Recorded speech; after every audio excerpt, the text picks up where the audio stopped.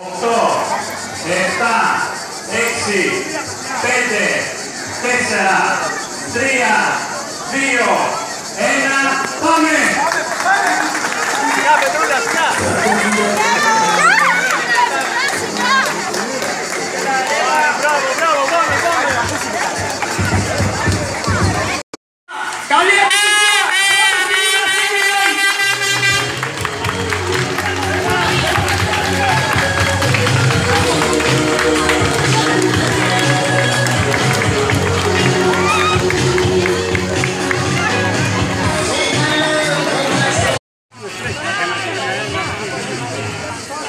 από Αγιαμαρίνα κάτω, Βασιλική όλο και θα γυρίσουμε από κάτω από τη γέφυρα.